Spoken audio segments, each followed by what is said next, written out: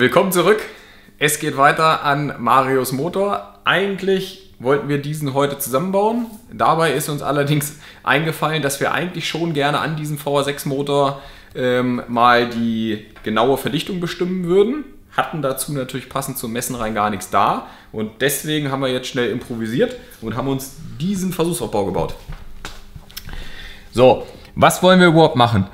Wie ihr in den letzten Folgen ja gehört habt, haben wir kürzere Pleuel eingebaut, 3 mm kürzer, um eine dünne Kopfdichtung zu fahren. Das heißt, wir haben einerseits die Kopfdichtung, wir haben die, die Pleuel kürzer gemacht und haben zeitgleich aber auch wiederum die Zwischenplatte kürzer gemacht. Das Ganze soll jetzt ungefähr eine Verdichtung haben von, was, also das Problem ist, wir haben keine Werte, sondern nur das, was im Internet halt so grob gesagt wird. Ne? Ich hoffe 8,5. 8,5. Okay. Diesen Wert wollen, müssen wir unbedingt einmal bestimmen. Deswegen habe ich Marius im Baumarkt geschickt. er hat schnell eine Plexiglasplatte gekauft. Daraus haben wir diesen höchst präzisen, technischen, geilen Aufbau gebaut. Jetzt müssen wir folgende Sache machen. Wir müssen als allererstes das Volumen von dem Rennraum im OT bestimmen. Das heißt, mit dieser Messuhr haben wir den Motor gerade einmal auf OT gedreht. Du kannst ihn ja trotzdem noch mal einmal durchdrehen, Marius, wenn du willst. Damit ihr am Ende wieder seht, dass es OT ist. So, und jetzt dreht dann einfach so weit, bis die Uhr 0 sagt, beziehungsweise einfach nicht mehr mehr wird. Können jetzt natürlich ein bisschen, ein bisschen variieren. Okay, das Wackeln. Ja, das war ein bisschen viel. Ne? Aber es kommt doch ungefähr hin.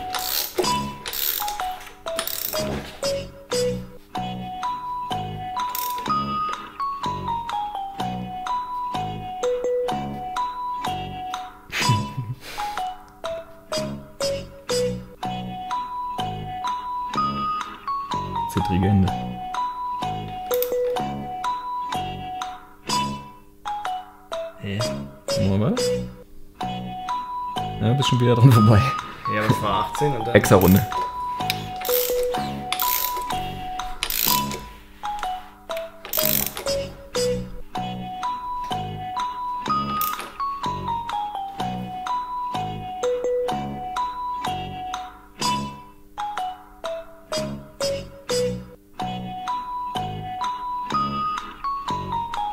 Da bleibt die Uhr hängen. Ja. So, jetzt sind wir genau in OT. Wollen wir einmal kurz erklären, was Verdichtung überhaupt ist? Ich denke mal, es gibt viele, die es eigentlich gar nicht wissen. Ne? Beziehungsweise falsch, wie wir das Ganze machen.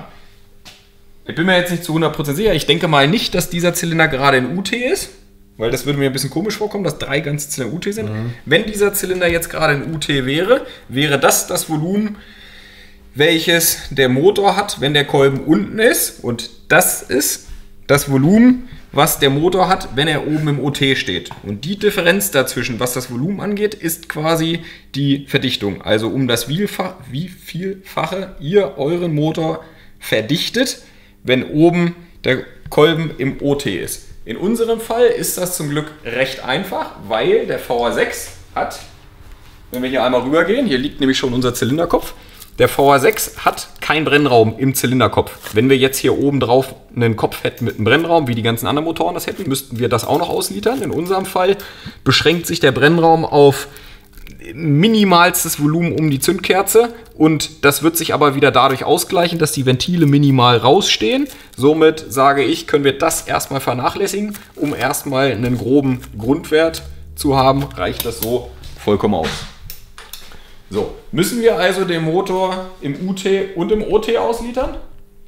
Nee, genau, müssen wir nicht, weil wir können einfach das Volumen vom OT nehmen, addieren dazu einfach unser Volumen, der vorgegeben ist, das Volumen, das vorgegeben ist, durch Hub und Bohrung und schon können wir quasi einfach die Verdichtung ausrechnen. Ja, rechnen musst du dann. Ja. ich schreib's auf. Okay, so. OT haben wir bestimmt. Somit können wir unsere Apparatur hier abnehmen. Erinnere mich so ein bisschen an Peter Lustig. So, jetzt, jetzt wird es aber noch viel, viel besser.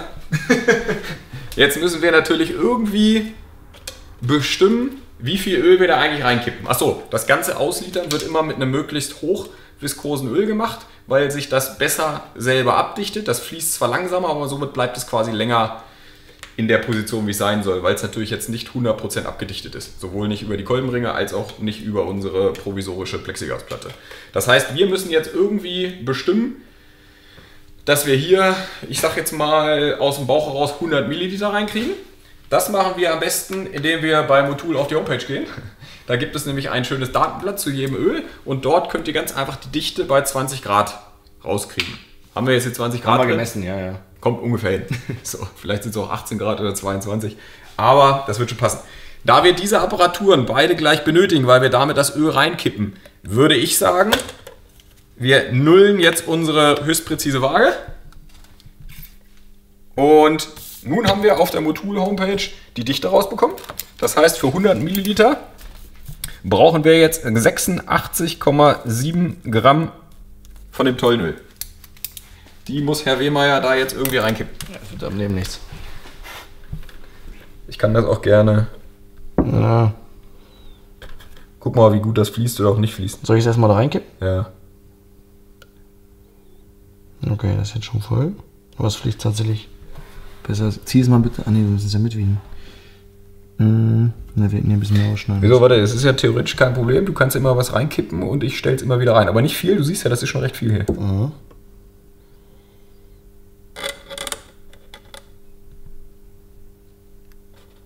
...35. Es ist wie so ein bisschen in der Schule damals im Ja, Chemie. Chemieunterricht, ne? Ja, da haben wir jetzt noch einen weißen Kittel an. 74. Ja, Jetzt kannst du den Rest, glaube ich, oben wieder reinkippen. So, ich hätte, ich hätte gerne noch 8,2 Gramm.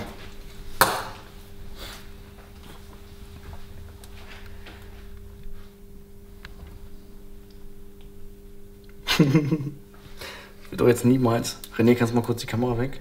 Es ist theoretisch nicht der übelste Weltuntergang, wenn wir ein bisschen mehr oder weniger haben, weil wir können es auch einfach danach wieder runterrechnen. Ne? Ja, es ist jetzt tatsächlich ein bisschen. Wir müssten jetzt was raussaugen. Macht überhaupt kein Problem. Das heißt, wir starten mit 87,2 Gramm. Wir haben nur ein, zur Sekunde ein Problem.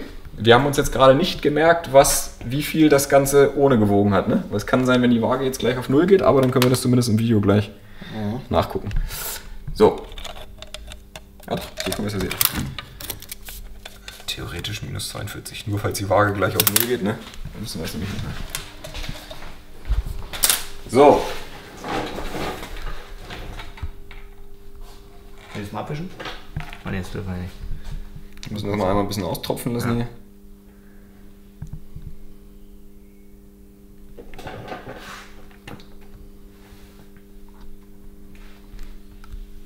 So, deine Aufgabe. Öl hier reinzukippen. Du musst es auf jeden Fall mal so ein bisschen nachlaufen lassen. ne? Kannst du ruhig ein bisschen. Ja, man sieht es ja ganz gut, jetzt habe ich es auch gesehen.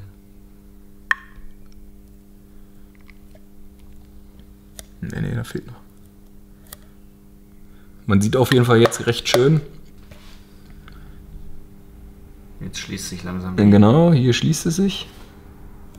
Warte. Na, ein Atömchen fehlt noch, würde ich sagen.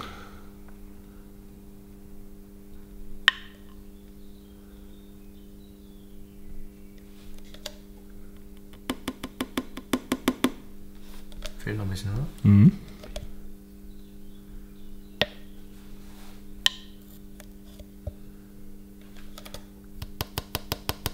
Ein ganz bisschen kommt hier schon raus, ne? Das müsst ihr uns jetzt verzeihen. Deswegen würde ich aber sagen, Aber es würde sich jetzt schließen, ne? ja. Der Trichter ist leer. Trichter ist auf jeden Fall leer. Ich würde sagen, die Luftblase, die da jetzt noch ist, ist genau, was hier das Luftbläsen, was da gerade ist, das wird ungefähr das hier sein. So. Es geht ja auch erstmal nur überhaupt um den Anhaltswert, wir einigermaßen richtig sind. Uh, da ist aber doch nicht mehr so viel drin. Habe ich auch gerade gedacht, ja. So, ah, jetzt haben wir es nämlich genau, Doch, was 6 oder? was ich gerade sagte. Jetzt ist nämlich unsere Waage ausgegangen. Das heißt, wir müssten sie jetzt natürlich neu nullen, was jetzt natürlich schwer geht, weil die Flüssigkeit hier noch drin ist. Macht aber nichts. Das heißt, die Waage zeigt jetzt 69,4 an. Davon müssen wir jetzt unser Die 42. die 42,3 abziehen, weil die 42,3 wiegt unser Versuchsaufbau bzw. so ein Dings. Somit haben wir jetzt noch ein Endgewicht von 27,1. So, jetzt brauchen wir einen Taschenrechner. Na, ich habe kein Handy.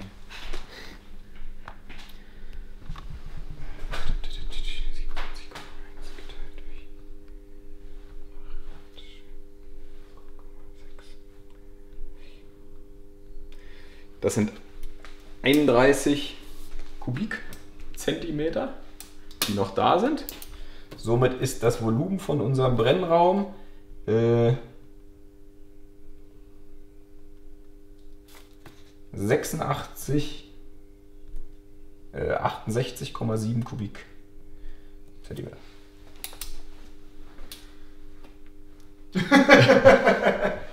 Bin selber ein bisschen gespannt, was gleich bei rauskommt, wenn wir das jetzt noch teilen. Weil, wie ihr gesehen habt, da war bisher noch kein Öl drin. Wir machen das wirklich hier mal improvisationstechnisch. So, jetzt wissen wir, VR6-Motor, äh, Hub 90,3 mm, Bohrung 81,0 mm. Das heißt, wir müssen davon das Volumen ausrechnen. Dafür brauchen wir als allererstes äh, den Flächeninhalt vom Kreis. Flächeninhalt vom Kreis ähm, war Pi r Quadrat. R gleich, Pi mal D. Ja. gleich, nee, Pi mal r Quadrat muss immer. Ja? Ähm, ähm, sind 40,5. Wir rechnen es gleich in Zentimeter um, ist einfacher, weil wir unten auch schon in Kubik gerechnet haben. Das heißt, wir haben 4,05 mal 4,05 sind gleich 16,4. Das Ganze mal Pi mal 3,14. Bitte entschuldigt die fehlenden Kommazahlen sind 41,5 Kubikzentimeter. Nun haben wir 8, nee, 90,3 Millimeter Hub. Das heißt 9,03 mal 51,5 sind gleich 465 Kubikzentimeter pro Zylinder. Kommt so hin, mal 6, ne? Warte mal, zur Kontrolle nochmal, mal 6. 2,790 Liter. Passt doch sogar zum 2,8er, ne? Kann ich mich ja schon mal sogar so mal gar nicht so verrechnet haben. Ähm, jetzt gibt es nochmal kurze Zeichnung hier. Für die Leute, die meine schlechte Erklärung gerade nicht verstanden haben. Das ist unser Zylinderkopf. Hier drunter, ich zeichne es jetzt mal ganz schlecht mit Kopfdichtung, ist unser Brennraum. Und dann haben wir da drunter noch unseren Brennraum. Das ist quasi OT und UT. Diesen Bereich hatten wir gerade ausgeliefert. Das sind diese 86,7 Kubikzentimeter. Dieser Bereich sind unsere 465 Kubikzentimeter. Und nun wollen wir das Verhältnis aus, wenn der Kolben unten steht, das ist die beiden addiert. Nachdem ich mich in diversen Videos schon verrechnet habe, nehme ich jetzt nur noch einen Taschenrechner zum Addieren. Das sind zusammen 533,7 zu 86,7 Kubikzentimeter. Das heißt, wir teilen die 533, Dings geteilt durch 68,7 und kommen auf eine Verdichtung von 7,8 zu 1. so, was sagen Sie dazu, Herr Wimmer? Ich habe nebenbei gerade ein bisschen spioniert. Mhm. Äh, also wenn man es richtig pingelig macht, hat die, wobei nee, ist eigentlich Quatsch, was in dem Rechner steht. Weil wir haben den Raum ja gefüllt, egal welchen Durchmesser die Kopfdichtung hat. Weil der Raum ist jetzt voll. Das ist egal. Dann Das ist schon, das ist schon die. Ja, ja, das ist die- es gibt, das ist der gibt, Raum, den wir jetzt, Verfügung hatten, ihn Okay, falsch. quasi. Ähm, wir machen das Ganze nochmal anders. Weil die Kopfdichtung So wie wir es in der Schule gelernt haben. Wir gehen jetzt die mit die, die unsere Messungenauigkeiten durch und bewerten diese. So, nun gibt es natürlich zur Sekunde die Variante, dass wir hier ein bisschen zu viel Öl oder ein bisschen zu wenig Öl drin haben. Das wird ja aber im prozentualen Bereich von 2-3% sein. So, viel mehr wird es ja nicht sein. Ähm, dann gibt es die Variante, dass wir theoretisch den Brennraum im Kopf mit einbeziehen müssen. Dass also die Ventile zumindest ein bisschen reinstehen. Auf jeden Fall die Auslassventile. genau, die stehen ein bisschen rein, haben in der Mitte aber wieder eine Senke. Ein das genauso. Und die Kerze hat auch noch einen kleinen, einen kleinen Freiraum. Ne? Mhm. Die hat auch noch einen, einen kleinen Freiraum. Mhm. So. Ähm, das heißt, Das ich, hebt sich wahrscheinlich alles wieder gegeneinander auf. Ne? ich würde jetzt Pi mal Daumen sagen, aus dem Bauch heraus, das hebt sie auf. Jetzt kommt der letzte Punkt noch dazu. Wir haben die Kopfdichtung nicht gequetscht. Das denke ich wird eher das Entscheidendste sein. Aber meinst du, die, die hat doch eh nur 06? 07. Die hat eh nur 07. Ich glaube, gequetscht wird die auch nicht viel mehr haben. Ist aber nicht so schlimm. Deswegen machen wir das Ganze hier ja jetzt zur Sekunde live, weil wir stecken jetzt den Kopf drauf und machen das gleiche nochmal durchs Kerzenloch. Dann wissen wir es ganz genau. Und lassen dann doch 1 mm längere Pläube. Und bauen es dann alles wieder auseinander, weil die Verdichtung zu gering ist. Nein, okay. Ähm, solange Marius jetzt den Kopf drauf baut, mache ich mir hierzu nochmal kurz Gedanken. ja. Und dann geht's weiter. Können wir euch nochmal schön zeigen, was wir im Winter an dem Motor geändert hatten. Björn hatte hier diese schönen Ringe reingemacht. Wir haben auch gerade den Zylinder ausgeliefert, wo noch kein Ring da war, weil dieser Ring hat einen leichten Überstand. Das heißt, wir hätten es unmöglich mit unserer provisorischen Einrichtung so tief ziehen können, dass das wieder flach gewesen wäre. Ne? Oder So. der Ring wäre platt gewesen. Aber deswegen kann Marius mit seinen ruhigen Fingern jetzt diesen Ring da reinklopfen. Ja, so ruhig sind die unten gar nicht. Nee. Wir gucken mal. Als wir meinen Motor bei Björn zusammengebaut haben, durfte das nämlich auch Daniel machen. Ja, Björn- Björn, Björn, macht das nicht so gerne. Björn, woll- Björn wollte es auch nicht machen. Alter, das machst du doch bei VW Oldtimer den ganzen Tag, oder? Ja, weil die Boxer alle so gezüchtet sind, dass die, Die, die funktionieren- 13 zu 1 Meter 0 die Boxer. funktionieren nur noch mit Ringen. Ja, ja. So. So, nochmal an alle, die diese Ringe zum allerersten Mal sehen. Ähm, Hintergedanken dabei ist, eine leichte Erhöhung zu gewinnen, die die Kopfdichtung an der Stelle später noch mehr vorpresst, also äh, vorspannt, um so nochmal die Abdichtung des Brennraums ein bisschen zu erhöhen. Eigentlich ganz cooles Prinzip. Prinzip haben wir bei mir in der Limo, glaube ich, seit zwei Jahren jetzt drin und funktioniert wirklich perfekt. Björn war immer dagegen, ist eins der wenigen Dinge, wo ich mich gegen Björn mal durchgesetzt hatte. Und seitdem machen wir das eigentlich immer so. Ist natürlich ein bisschen Friemelei. Wir wollten es immer mal testen, ob man diese Ringe eigentlich neu machen muss, wenn man den Motor einmal zerlegt. Hat sich aber bisher noch keiner getraut, sie mal nicht neu zu machen. Das kann ich dir Mitte der Saison sagen, wenn die erste Kopfdichtung weg ist. Ja, aber ich glaube, damit gibt es keine Kopfdichtungsschäden mehr. Ich glaube auch nicht. Also jeder, der jetzt Lust auf solche Ringe bekommt, ähm, macht Björn liebend gerne bei jeglichen Motoren. Allerdings auch an dieser Stelle nochmal einen kleinen Hinweis zu Björns Umzug. Er ist immer noch in vollem Gange und wird, jetzt muss ich kurz nachdenken, ähm, er kann leider vor Ende August keine neuen Motoren oder Arbeiten annehmen. Sollte ich euch nochmal mitteilen. Heißt, Limo muss bis August halten. Genau. Das heißt bis August. Nee, der stellt alle Maschinen neu auf, muss alles neu ausrichten. Dabei wartet er natürlich alle Maschinen einmal und das wird unterm Strich so lange dauern, dass er darum gebeten hat, nochmal zu sagen, dass sich alle leider bis Ende August gedulden müssen. Dafür dann umso motivierter, schneller, besser und so weiter. Ja, okay. Also Ringe sind drin. Die müssen immer auf Maß gebracht werden, weil das natürlich einfach ein Kupferdraht von der Rolle ist. Ähm, das hast du gerade Genau. auf Maß geschnitten und danach einfach Ja, nochmal so. gefeilt. Ne? Ich mache mir mal einen so grob, dann schneide ich sechs in der Länge zu und den Rest dann. Ich nehme meine Blechschere, das war eigentlich nicht der richtige Weg, aber die schneidet so, dass man einen Seitenschneider kneift das immer so. Ich mache es mit einer Blechschere, dann ist der Schnitt relativ gerade und den Rest dann mit der Feile. Genau. Perfekt. So, jetzt äh, Kopf drauf. Ja. Drehen wir diesmal die Bolzen erst rein oder machen wir wie immer. Nee, der Vorteil ist ja an der, da, dadurch, dass ich jetzt keine Platte mehr fahre, ist der Kopf wieder zentriert. Das hat ja mit der Platte ja nicht funktioniert. Also eigentlich können wir jetzt erst den Kopf drauf sacken Ah, okay, deine, deine alte Platte war so war dick. so dick, dass das plan war. Ah, okay, das ist natürlich dann immer richtig. Dann ist der Kopf immer hin und her gerutscht. Ne? Okay, dann. Hat es gerade schon fettfrei gemacht, Alter? Nö. Okay.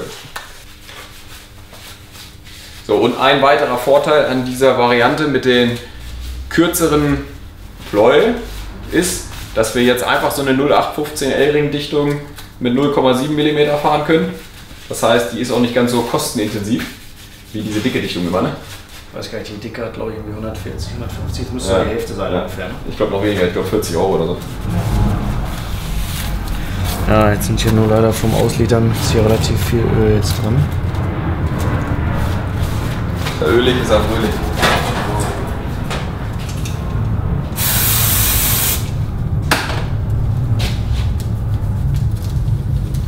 Lass mal. Ja, verabschiedest du dich nochmal Nee. von Nee? Wir sehen sie ja nochmal wieder. Nein, erstmal nicht. oh, jetzt habe ich gerade was entdeckt, was du mir noch nicht mal mitgeteilt hast. Ich wusste gar nicht, dass das. Bin ich sogar, werde ich sogar mal im Video überrascht. Wieso hast du das denn gesehen? Ja, ich wusste nicht, dass der Kopf personalisiert wird. Sicher. Bin schon drin. Nee. Steht nur leider auf dem Kopf. So, da kommen wir gleich drauf zu sprechen. Erstmal einmal Zylinderkopf. Gibt es jetzt nochmal in der Kurzform. Ähm, haben wir da was geändert gegenüber letztem Jahr? Ich würde sagen, nicht viel. Zylinderkopf ist wieder von NG gemacht. Alles was geht. Heißt große Auslassventile, große Einlassventile mit großen Sitzringen und maximaler CNC-Bearbeitung. Natürlich mit Golfball, neuen Führung und so weiter. War allerdings in Nuancen letztes Jahr auch schon so. Wir haben allerdings ein paar Kleinigkeiten im Bereich vom Ventilsitz nochmal geändert. Und weil der Kopf somit eh auf der Fräse drauf war, hat der Kopf, wie Marius gerade schon erspäht, als vorher echt noch nicht gesehen, Nein, ich wusste das nicht. Mega. eine kleine Fräsung bekommen. Problem dabei war, es gibt natürlich keine Stelle am VR6-Kopf, wo wir das hätten hinfräsen können, dass man es später auch sieht. Sichtbar ist, ja, ja. Genau, jetzt musst du immer so einen Spiegel an Krümmer machen. Ich klebe hier so klein ran. So, an der Stelle blenden wir auf jeden Fall einmal kurz das Fräsen von hier rein, weil wir haben es nicht gefilmt.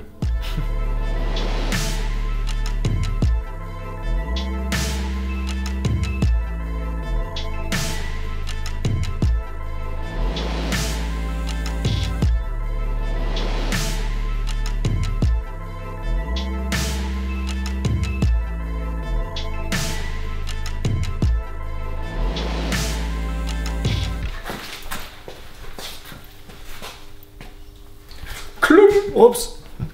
Runtergefallen. Wie Sie sehen, sehen Sie nichts. Sitzt, passt, wackelt in der Luft. So. Nächstes, Alte? Aufbolzen. Eine und ja, nein. Wie du willst. ist dir selbst überlassen. Du musst dir auf jeden Fall wieder die Finger dreckig machen. Ihr kennt es ja mittlerweile aus etlichen Videos. Unsere Ich bin Pro Series. mal dreckig mal Frau. 18.8 Stehbolzen. Die müssen ja immer so schön eingefettet werden. Und Marius macht sich dabei immer so gerne die Finger dreckig. Ja, ich mach das gerne. Aber wir haben vorhin schon wieder gelacht. Ich habe ihn gefragt, haben wir heute einen Pinsel hier? Nein, wir haben wieder keinen Pinsel hier, deswegen müssen wir uns heute wieder so einbauen. So, okay. Ja, dann äh, müssen wir jetzt als erstes die Kopfbolzen. Bolzen rein. In drei Schritten anziehen. Auflagefläche ordentlich einfetten wie immer, damit auch am Ende die Flächenpressung passt. Und dann litern wir das Ganze aus. Machen wir das.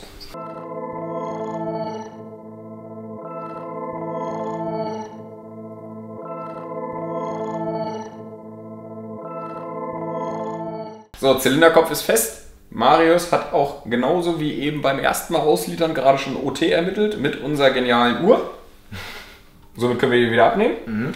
Und jetzt machen wir genau das gleiche Spielchen, wie wir eben gemacht haben. Nochmal. Ich habe schon wieder 100 Milliliter in unseren Profi-Messbecher gekippt und dazu gewogen. Jetzt ohne das Ding, ne? Doch, das habe ich natürlich passend gemacht. Und Jetzt müssen wir auch dort, jetzt kommt natürlich der knifflige Teil. Wir können jetzt natürlich extrem schlecht da reingucken, wann das Kerzenloch voll ist. Da ist jetzt so ein bisschen, ja, Fingerspitzengefühl, äh, Vertrauen, wie auch immer, angesagt. Aber pass du nimmst mal das und dann müssen wir nach und nach ähm, gucken. Also wir wissen ja zum Glück, wie viel ungefähr drin sein muss, ne?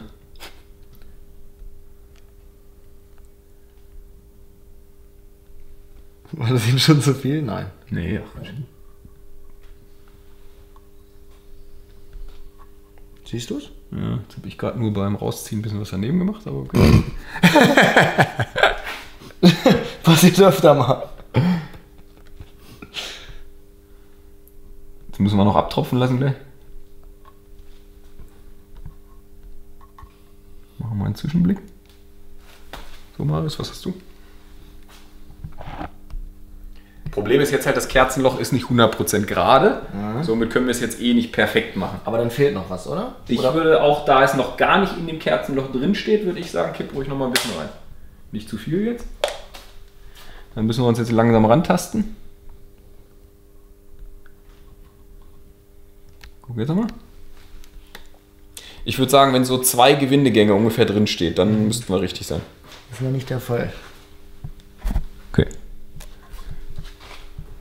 Werden wahrscheinlich so gut wie gar nicht gerade eingefangen kriegen, aber.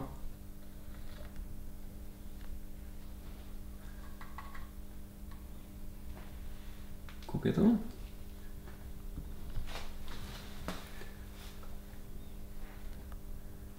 Ich würde sagen, es fängt jetzt langsam an, Ein bisschen muss noch. im Kerzengewinde zu stehen. Ne? Was machen wir jetzt nur mit den 1,6 Gramm, die du in der Hand hast? Die kippe ich da gleich wieder rein. Achso. Jetzt ist definitiv. So, jetzt, jetzt könnt ihr das mal probieren, ob wir das irgendwie gefilmt kriegen. Ich würde tendenziell sagen, jetzt ist fast ein bisschen zu viel drin. Naja, brauchen wir ein bisschen Licht da rein, glaube ich. Nee, ich glaube so tief, die kann man nicht. Also wenn ihr jetzt reingucken könntet, würdet ihr sehen, dass das Kerzengewinde ist halt leicht schräg. Somit ähm, sieht man das nicht ganz so genau. Mhm.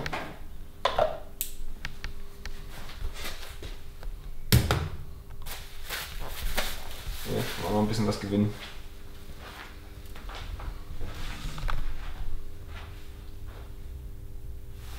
So.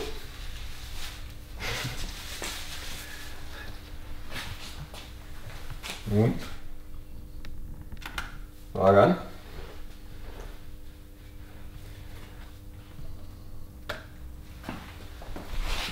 Alter. Ich muss sagen, wir sind nicht schlecht. Wir haben jetzt hier 71,8 Gramm Rest und beim letzten Mal hatten wir 69,4 Rest. So, das, leider echt so das, das, ähm, die 42,3 Gramm, was die Schale samt unserem Trichter wiegt, das müssen wir natürlich wieder abziehen. Wir können das gerne natürlich nochmal jetzt genau ausrechnen. Das heißt, in diesem Fall haben wir 71,8 minus 42,3 sind 71,8 minus 42,3 sind in dem Fall 29,5 Kubikzentimeter. Das heißt, der Brennraum wird größer, kommt auch ungefähr hin, würde ich tippen. Wobei das jetzt auch genau die 2 Kubikzentimeter sein können, die auf meiner Handfläche an Öl waren. Ne? Ja. So, aber selbst wenn wir davon ausgehen,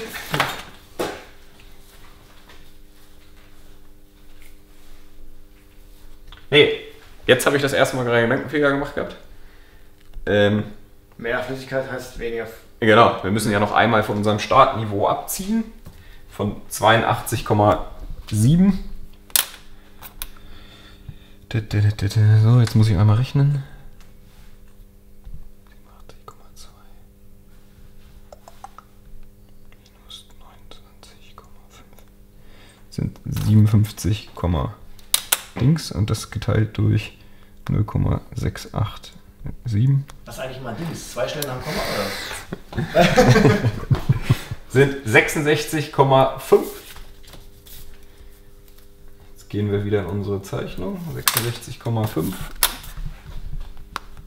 plus 465 sind 531 geteilt durch 66,5.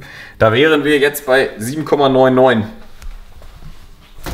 Somit immerhin schon mal ein Atömchen höher. So. Aber immer noch alles unter 8 auf jeden Fall. Genau. Ich würde jetzt sagen, damit sind wir auf jeden Fall da, wo wir hinwollen, beziehungsweise falsch. Da, so Pi mal Daumen, dass das jetzt irgendwas zwischen 7,8 und 8,0 ist, kann man jetzt ziemlich sicher sagen. Wahrscheinlich sind es genau 7,9, wie auch immer. Ähm, ändern können wir es jetzt nicht. Mhm. Es ist, wie es ist. Wir lassen es auch so. Weil noch dichter, noch dünner können wir die Kopfdichtung nicht machen. Nee. Das heißt, wir bauen den Motor jetzt fertig zu Ende. Und dann geht es als nächstes weiter mit Getriebe. Ne? Rest, Rest macht's E85. Erstmal hier. Äh, wir gehen auf den Zylinderkopf an der Stelle nicht weiter ein, weil vielleicht habt ihr schon gesehen, wir haben da so eine kleine Videoreihe bei NG rausgemacht. Wir wollten euch unbedingt Schritt für Schritt alles an den Kopf zeigen und deswegen dürft ihr euch in Bezug auf Zylinderkopf auf jeden Fall noch auf ein paar Folgen freuen. Wir machen jetzt weiter, Weiter geht's. wieder was gelernt und bis zum nächsten Mal. Ciao.